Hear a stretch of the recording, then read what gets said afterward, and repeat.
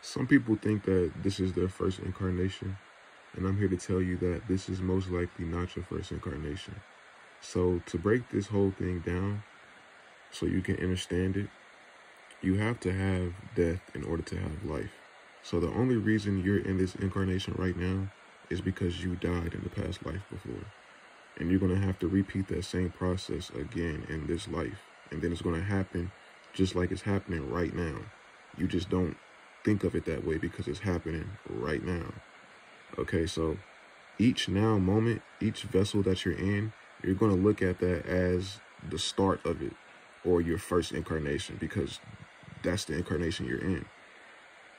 But you have to understand that you are not your physical vessel. Your physical vessel is only a third density body for you to experience this third density realm. Okay? Your spirit is what controls your vehicle, your body. Okay? So think of a car.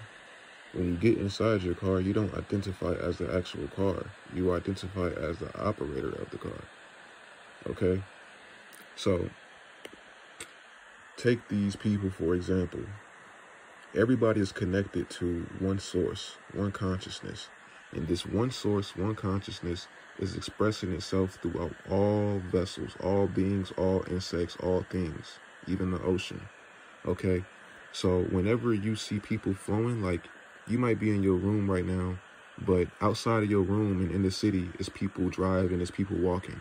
And that very flow is the consciousness, is the process of creation and death or destruction. Okay, so that consciousness is just moving throughout all beings. You won't be able to stop flowing. You can't stop flowing.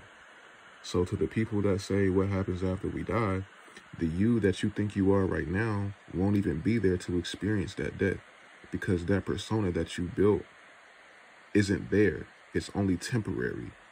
Okay? So you can't experience nothing. You just can't you won't stop flowing. Even 10 minutes from now, two minutes from now, when you're done watching this video, you're still going to be flowing. What's keeping you alive right now? You don't know. You just do it. You just flow. You just move. That's consciousness. But that one consciousness is expressing itself throughout all beings. You are the very fabric and structure of this entire universe. You are not the wave, but the entire ocean.